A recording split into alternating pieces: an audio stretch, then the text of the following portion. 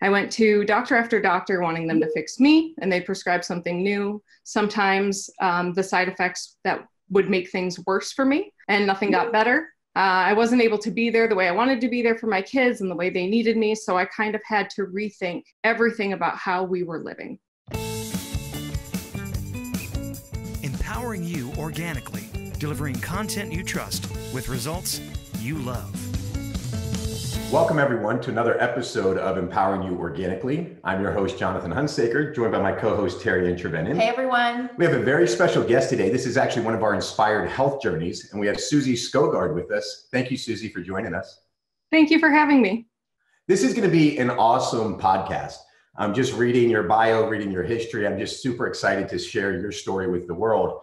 Terry, do you want to read through her bio? Absolutely. Suzie is a vegan health coach and blogger, as well as a volunteer crisis counselor with Crisis Text Line. She owns a gluten free vegan bakery just outside of Lansing, Michigan, Carly Cakes, and they operate under a mission to employ adults with developmental disabilities and pay them a living wage. So first and foremost, I just love what you do. I love what you do. Just gives you all those good feelings, and um, I love bakery treats too. So I think everything you're doing with your profession is incredible. Absolutely incredible. Well, thank you so much. It was um, inspired by my youngest who has celiac. So uh, she also has Down syndrome, and it was kind of um, but wanting to find a way that she could be included in birthday treats and celebrations. I love that. I love that. Yeah, tell us a little bit more about that. Give us some history. Tell us about your health journey and just what started you on this entire path in life. Okay. Well, my youngest, like I said, while amazing and perfect, was also born with Down syndrome, um, as well as a life threatening heart condition. Uh, with that heart condition, we had a couple of close calls, months of hospital stays, um, and she ended up having open heart surgery at four months old. Uh, I didn't really know how to cope with all of that. And because it happened so fast, I never got the time to process any of it. And I wound up with postpartum PTSD. Um, my anxiety was through the roof. I was miserable. And to self medicate, I was eating junk and drinking a lot of alcohol at night. I was about 55 pounds heavier than I am right now. Um, the extra weight was a strain on my body. I was always tired. I was never able to sleep, and I was really, truly suffering from my rheumatoid arthritis. I went to doctor after doctor wanting them to fix me, and they prescribed something new. Sometimes um, the side effects that would make things worse for me, and nothing got better. Uh, I wasn't able to be there the way I wanted to be there for my kids and the way they needed me, so I kind of had to rethink everything about how we were living. So I woke up one day and just reached my limit. I told my husband that I needed to change. I needed to get healthy, even if I wasn't sure what healthy even was at this point. Um, and we had both said at various points that we were going to get healthier. But this time I told him that I meant it and I was going to do it with him or without him. Um, that night, his blood pressure got to dangerous levels and he collapsed to the floor um, he was hospitalized and it was that moment of realizing that that situation could have resulted in a serious stroke uh, complete kidney failure or even death. Uh, that was the wake up call that it was now or never. And thankfully we were in this together and we were going to um, do these changes together I, you know, I, I, it's it's just hard to even hear the story because you know it, you sometimes have to hit that rock bottom to make that change, and I just can't imagine. I mean, it was one thing after another after another that was just stacking up against you, and and I can imagine just being up against the wall at that point, putting your arms up like enough is enough. It's time to do something, and unfortunately, a, a lot of people don't do something. Right? They continue to talk about doing something. They continue to think about doing something they want to do something, but then they they stay on the same path. And so um, I love that you did something. What was the biggest change that you made? What was that big something? Well, before we before he even got home from the hospital, um, I cleared out all the alcohol and high salt foods from our house. Um, but the doctors gave very little other direction for us to follow.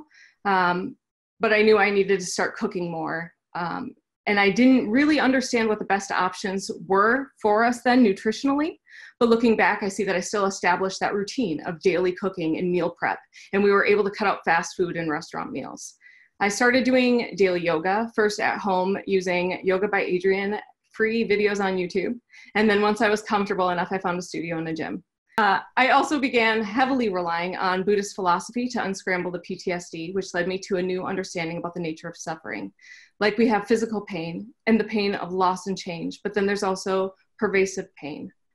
Say if we were injured in an accident, we'd have the physical pain of the accident, the suffering or change of our car being totaled, but we'd also have pervasive pain, which is the pain we can control. And in that imaginary accident scenario, it might be worrying what everyone else is going to think about us. It might be replaying over and over what we could have done differently. We can't truly control physical pain or the pain of loss or change. They're going to happen, but we can control pervasive pain. And who doesn't want to hurt less? So the rest of our journey grew from my desire to reduce the pervasive suffering that I was putting out into the world and to also free my mind for it. Um, the day I woke up and began a different life for our family, I didn't wake up with any less depression or anxiety than I had had the day before. I didn't wake up with any less swollen or achy joints than I'd had the day before. I didn't wake up with more money or less on my plate. Um, we were all extremely sick. There was nothing good that had changed to lead us in that direction. Um, nothing about our situation really changed, but the way that I looked at it did. So I, I think there's a few good points there in what you shared. I mean, first of all, you talk about being in the hospital and and really not being given any advice. I think that there's definitely a place and a purpose for modern medicine and what conventional medicine can do. But one thing that we know and is fact is that a lot of doctors aren't um, trained and they don't have a lot of education in nutrition. And so I think that's one place where when you face a really big health scare like your family faced, that you know people really have to dig deep because most of the time the answer is here's a pill to fix what's wrong, which really creates more symptoms and more issues. But really, it's like what are you eating? And what are you going to change? And even if they ask you that question and go down that path it's such a small list of things that they'll walk through with you to talk about how you can change your health. And so i think you taking that initiative to go out and say i'm getting all this out of my house. I'm bringing this into my house and i'm going to make this lifestyle change is a huge step that a lot of people never make because they feel like it's such a daunting task.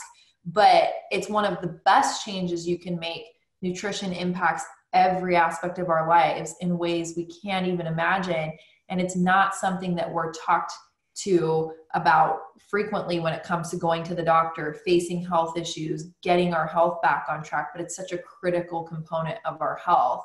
And I think the second thing that you talked about that was really, really important is it's not just about our physical health, but it's about our emotional health and well-being, which, you know, we also don't talk about this enough, but our emotional health and well-being is extremely tied to how we feel physically and vice versa. And so I think it's really powerful in sharing your story that you made big changes for your family with nutrition and emotional well-being but you didn't notice the changes right away it's not like some big massive thing happened the next day massive change requires massive action but to see the success of that action takes time. It's a process. It's not like instant gratification. You know, good health, long term health is a long journey and a long process. And it doesn't ever look the same from day to day. It changes day to day because our bodies are constantly changing. So I think it's a really powerful message. Thank you. Yeah. And it really did come down to just baby steps. Like, you know how everybody's um, into Marie Kondo and the life changing magic of tidying up? Yeah. Uh, I started Marie Kondoing my brain. Um, all our routines, everything that we ate, I would examine what we did objectively. So, what was I putting into my body? Did it bring me joy? And there were a lot of foods that I just ate or served out of habit mindlessly that I didn't even like, um, that the family didn't even like. My kids had the same amount of ew factor to dishes that I would put down then that they do, you know, occasionally now. Um, so it, there were foods that I did like, and I could say that they also did bring me joy, but maybe they weren't the best option to build my diet around. Um, so I started reflecting on what that joy actually meant to me. Was it a temporary moment derived from immediate pleasure, or was it the kind that came from being the kind of parent I wanted to be, um, from having a body I could be comfortable in, joints that weren't angry and screaming at me all the time? And in that moment of reflection and pause before eating, there was that breakthrough. Uh, the novelty of a treat would wear off, and I wouldn't feel like I was actually missing out on anything by picking a healthier treat because I was actively choosing in that moment health. Um, so my focus became progress, not perfection. And those little daily cho- choices uh, led us to the point where we could start making big changes overall. Yeah, and I think that's a really important point. I think, you know, that overall theme of what you're sharing here is just choice. You have choice and you made choices, and those choices brought about, you know, the success you're now seeing with your family and your health. And it's just those choices moment to moment, day to day, week to week that build on one another and bring that relief your family was looking for of better health and going on a journey of health that would benefit every member of your family, which is really powerful. Choices, I think, one of the most powerful things we have, and it's one of the most difficult things to face as far as we have to choose for ourselves things that make life better. And it's harder you know for people to do than we can even imagine. It's such a big thing to take that first step into the unknown especially when it comes to your body and say i'm doing something drastically different. So hard.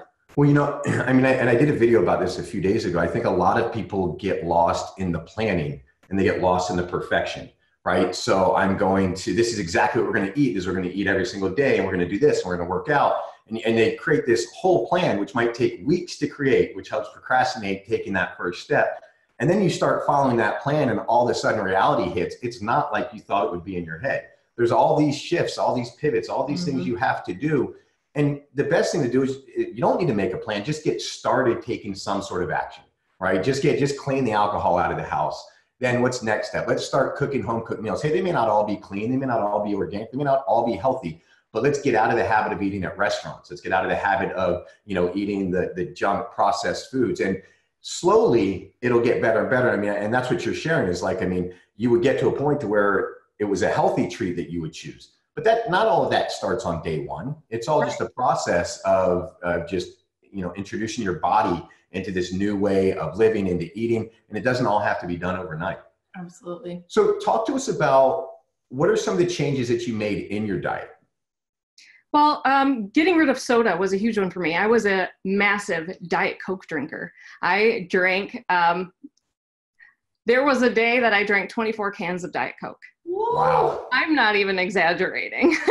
Wow. so, uh, one of the, I knew that that was one of the ones that had to go right away. Um, so I began to learn about the environmental toll that processed foods take on our planet.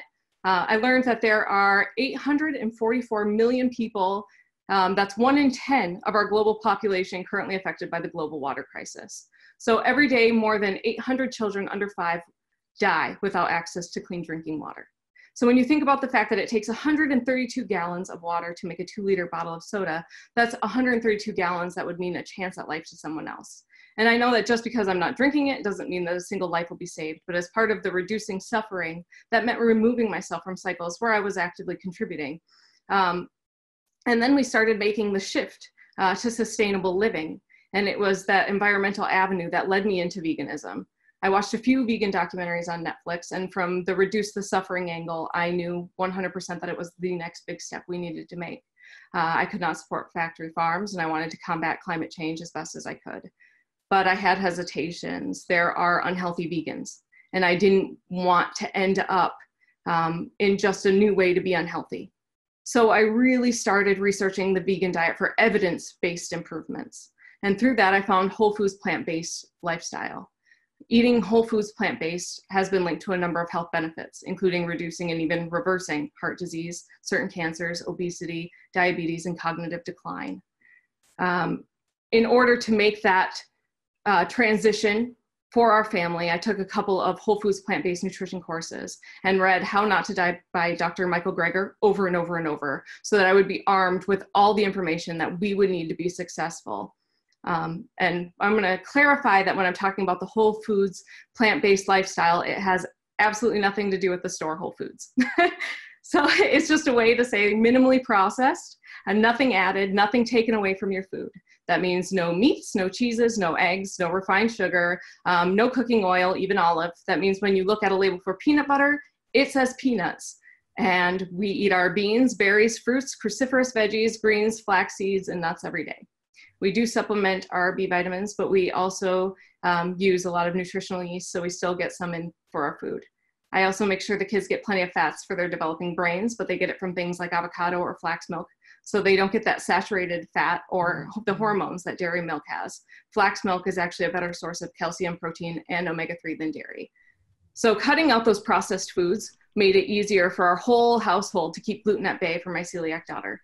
Um, drastically cutting her risk of cross contamination uh, improved her health dramatically. Her skin got better, um, her stomach bloat went away and leading me to find that gluten was also making my rheumatoid arthritis worse. It was contributing to inflammation.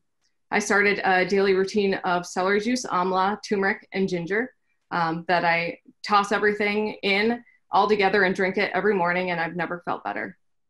Awesome. Yeah, and it's interesting you talking about your, you know, the diet with your kids and and I, I don't even like to call it a diet. I really don't like that word, so I shouldn't use that word, but I think everybody has different choices in their nutrition and how they eat and how they do things. But I think something really interesting about your story is that you know we just did a podcast last week on kids and kids eating healthier and how it's impacting their emotions and their behavior and how it's impacting their success in school and you know you're you're a perfect example of someone who's taken this new way of life for you and your family your choice which is the most important thing that you have a choice in how your family eats but once you make that choice people are so scared to dive into that with their kids and their family but I think we live in a day and age where there's so much information available, right? Um, I've used a lot of the different things that you just talked about to cook. And while I'm not vegan, um, there all of these things you've talked about in your nutrition for your family and how you're cooking. There are so many creative ways to cook for kids that they will like the food and they can enjoy the food. I think people hear like you cook at home and you make really healthy food for your kids. Do they even eat? Do you guys eat? How do you even eat anything that sounds good or fun? And it's like, I think it's such a misconception, right? Like I love hearing your story because there are so many ways to cook at home and make it fun and make it taste good. And I think some of the misconceptions, whether you're keto or you're vegan or whatever it is that you eat, I think people always have these stigmas of like, well, then their food just must not be good or their kids must not eat their food. And I love that you've kind of just taken the bull by the horns and you're like, yes, we can do this. Yes, there are creative ways for my kids to eat. Yes, there are options for us. And look at all these different things that you and your family eat. And that's such a powerful, you know, a powerful testimonial to the fact that we can make choices for our family find creative ways to make those choices work and have a happier, healthier family. Super powerful. When I, I mean, I love the idea that you changed it for your whole family, right? So your daughter had celiac, and so it was like, let's get rid of everything in the house that's gluten, right? And so it's not just her that has to eat different or that's treated differently. You're following it, your husband's following it, right? I mean, you're feeding it to the whole family, which I think makes it that much easier because somebody isn't being left out or they don't get the treats or they don't get treated. And so yeah, just I, I think it was all um, really effective the way that you did it, and and I love the clarity around whole foods. We talk about whole foods, plant based diets a lot. We've had Ocean Robbins on here. We've had a lot of people that follow a whole food plant based diet. And yeah, we're not talking about Whole Foods a place. It's we're sad that in this day and age, a lot of people think that whole food diets are from Whole, Foods, right? Grocery store, but it's true. We're just talking about the yeah. way it was grown outside right? Yeah. up in boxes and bags yeah. and processed and ground up and all of that, just the way it was meant to be grown in. So many kids are going to grow up in this generation and be like, what's a whole food? Which is really sad. I think that things are changing. I think that that's coming back into, you know, the forefront of people's minds, how we're eating and supplements and all of the things that we discuss on this podcast. But so many kids, you would say whole foods and they're like, what is that? Exactly. They have no idea. No idea. All right, so you got to tell us what was the biggest obstacle that you faced on this journey? Um, well, there were a lot of, like you were talking about, a lot of misconceptions about the whole foods plant based lifestyle. So everybody always asks me if it's about us getting protein. and uh, veggies have a surprising amount of protein. Broccoli has a higher protein per calorie ratio than steak. Um, obviously, you have to eat a lot of broccoli to get that, but it still has a higher protein per calorie ratio to steak. And when you're eating nothing but a lot of different types of veggies and a lot of different types of nuts and grains, it's really easy to make it up. Um, uh, it also was a lot easier getting the kids to adapt the changes than I even thought that it would be.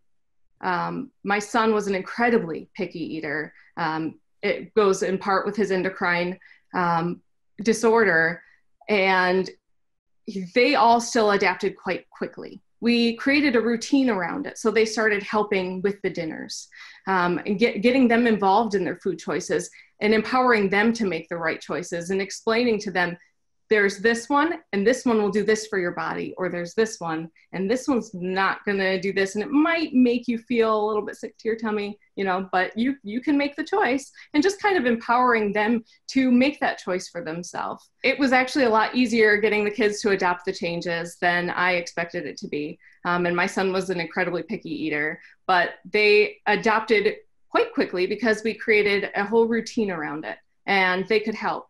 Um, even the youngest one could still find something to do, whether it was just, you know, um, helping prepare the salads. And, and my littlest one, the one with Down syndrome, likes to tear up lettuce.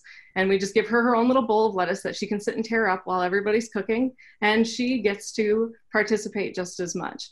Um, so we taught them about why we were making those changes too. And the bottom line is, is just the food that was available. You know, if there's no junk to really choose from in the cupboards, they aren't going to pick it. it's just not there. They're if they have a choice between okay, I have an apple or a banana, they still feel like they're making a decision.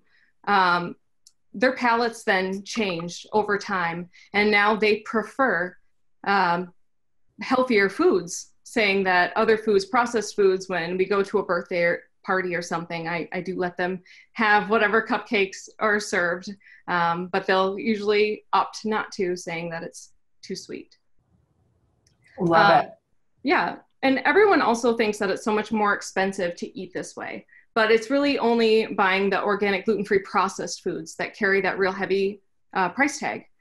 Um, I feed our family of six a gluten free vegan diet full of color, vitamins, three meals a day for about $100 a week. And we were probably spending that on Starbucks soda, beer, wine alone uh, before the change.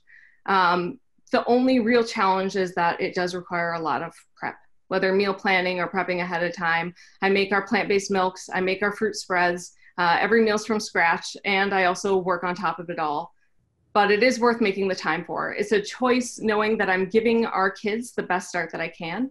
It feels really good to see them go back for seconds of an all vegetable dish.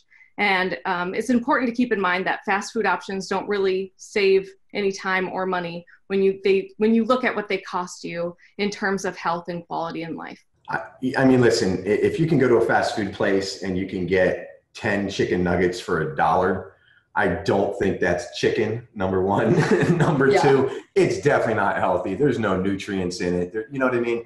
And, and I, we get sucked into this idea that it's more convenient, that it's cheaper, um, and quite frankly, we, we get sucked into the idea that we need food all the time. Right? Food is everywhere. You drive down the street and you constantly just are advertised food, food, food, food, food. And so when you make that shift to cooking at home, when you make that shift to prepping your own meals and prepping all that, one, you know everything that's going into it. So there is no question. You don't need to ask if it's organic or not, or what did you use, or anything like that.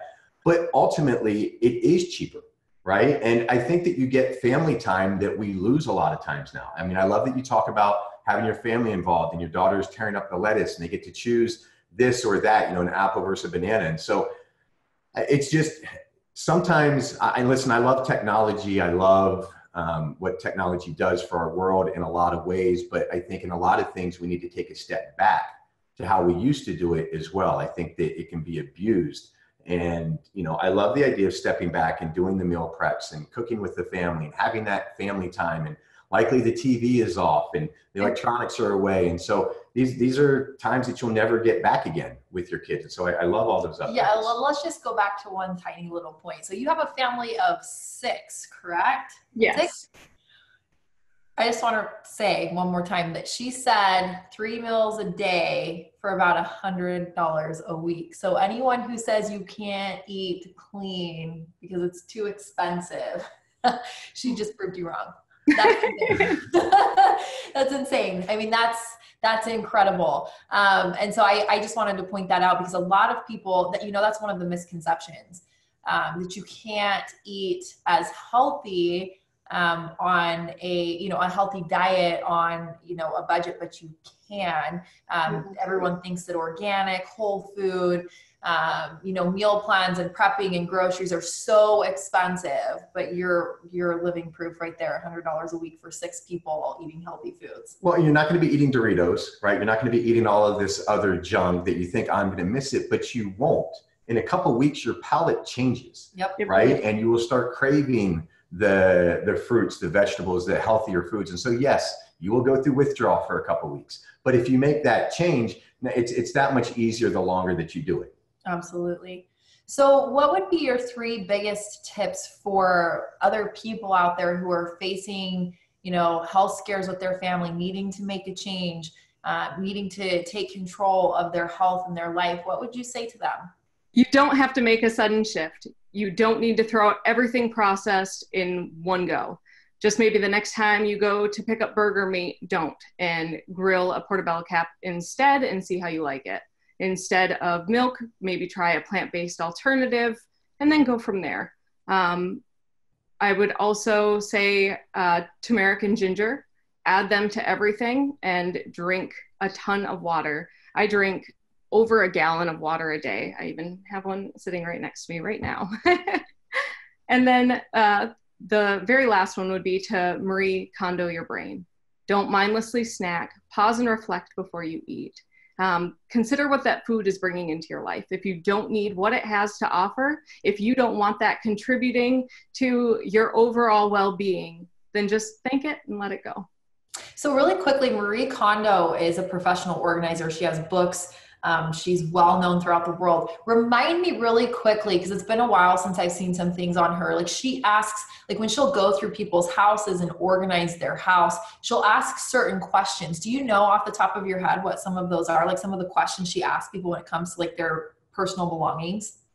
Yeah. So like it's just kind of like um, you know, the first the big one. Does it spark joy? Does it That's really right. spark yep. joy? And and there, there might be a food that's maybe not so healthy that does spark joy for you that our food has such strong ties to um, holidays celebrations meals that um, our families that we grew up with. And i think that it's still totally reasonable to still include elements of that. Um, you know it just doesn't have to be your everyday. Yeah. it doesn't have to make up every meal you have. You can find a way to substitute different pieces of that meal with maybe a healthier option. And um, if it's if it's made, cooked in a heavy cream maybe try a little bit of something else maybe a plant-based alternative um, and see if it if it still gives you that happy spark joy feeling. Um, and then uh, as far as anything else i blanking. So no, you're totally fine. I, you know, I love that you said that because eh, eh, if you think about it long term for your brain, first and foremost, does it spark joy? Because I think a lot of us live in our minds in a way that doesn't serve a purpose. I think we, you know, going back to what you talked about with suffering, I think we create needless suffering in our lives um, we create needless guilt and shame in our lives. And when you say, does it spark joy? And, and I remember now seeing some of the things where she would go through people's houses and like, hold it, feel it. How does it feel for you? When you think about that with your mind, it's like, does it spark joy? If it doesn't, then why are you holding it there? And why is it there? What do you need to flush it out? And I think the same goes with food.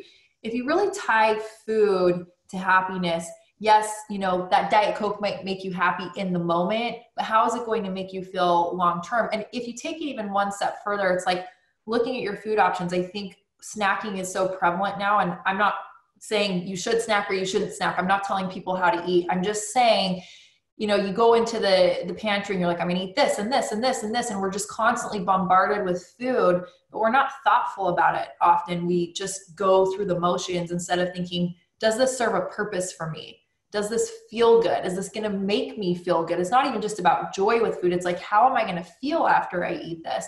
Yeah, it's fun to eat things that are joyful every once in a while, that treat that you love to eat or that thing that you love to eat that may not be what you would consider the healthiest thing, but every once in a while. You know, other foods, it's like looking at it. Do I need to eat this right now? I mean, I feel good because I ate this. And so I love that concept of Marie Kondo your brain, first of all, because I think, does it spark joy? And if it doesn't, then why are you doing it? Why do you feel it? Why are you thinking that? Why are you living in that space? And I think the same goes for food. Why are you eating it? Why is it part of your diet? Why are you, you know, why are you going through this process? I think if people thought about that a lot more with their food, they would make better choices, thoughtful about your food.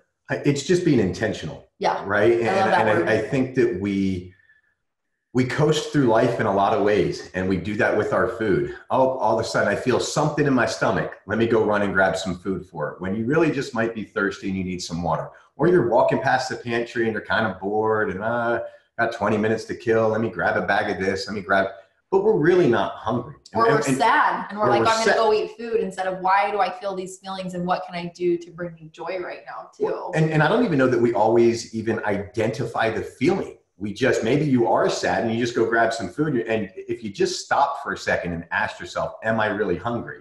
You might think you know holy crap i don't need to eat this whole box of ice cream. Yeah. You know um, or whatever it is your pleasure. So i think it's about being intentional. And, yeah. and, and i think a lot of it is about slowing down. We are in such a fast-paced world and technology has helped with a lot of that that just stop and take a breath and think about what you're doing before you're doing it and ask the question why I, that to me, I, I think is some of the best advice in the world is ask yourself why before you do a lot of things. Because once you're clear on it, then you know you're at least making a conscious decision to eat the treat or not eat the yep. treat or whatever it is. Yeah, absolutely.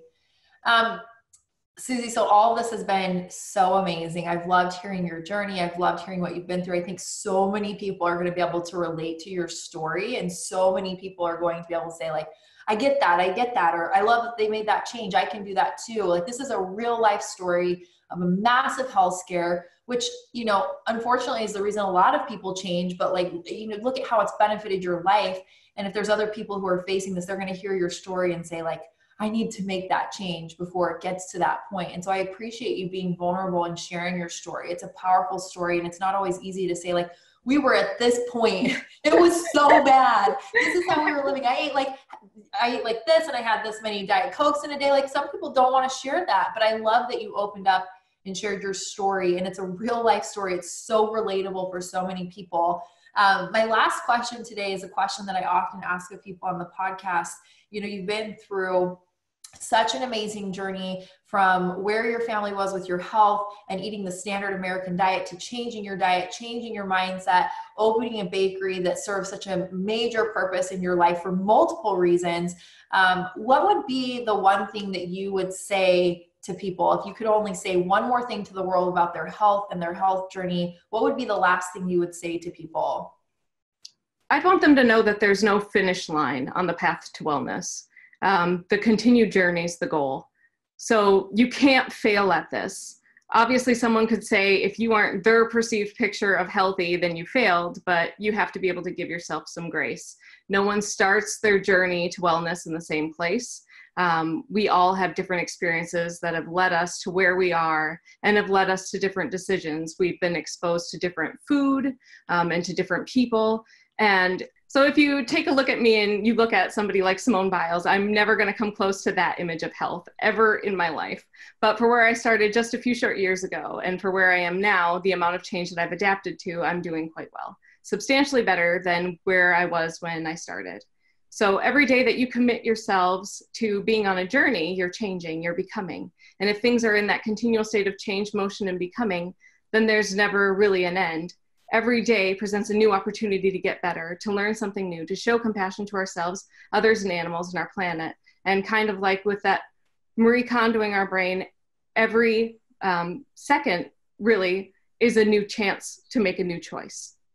Love it. And I love how you said becoming. We're constantly becoming. Um, I've had this conversation with friends before about becoming. We're always becoming a better version of ourselves, always becoming new things. And that's a beautiful thing about life. And I think that's the beautiful thing about your health journey. it's one story that can be something that so many people relate to, but then they can go and take what they need from your story, from other stories, from other places where they can get information on health and choose for them what looks best and change their lives. So I love your story. Thank you so much for sharing it with us today. Thank you for being with us. It's been incredible to hear it. Yeah, Suzie, thank you so much. Thank you for having me. So tell us, wait, tell us the name again of your bakery, so people, when they're in Lansing, Michigan, can stop by and see you. It's Carly Cakes. Carly Cakes, and do you have a website? Do you have an Instagram? Uh, I have Carly Cakes uh, GFE on Instagram. Awesome. Excellent. Love it. We're going to have links to everything on our website, Empowering You Organically. We'll have links to um, the different books that you recommended on there and just kind of more of your whole story. We have a transcript, we have the show notes, um, and any other links that are pertinent to the, the show. Um, any last words? Anything else you want to share? No, just loved this experience today. Lots of good information for sure. Suzie, thank you so much for taking the time. I know you're going to inspire others, and you have been an inspiration. So, um, thank you for all that you do, and thank you for sharing your story with all of us. Thank you so much.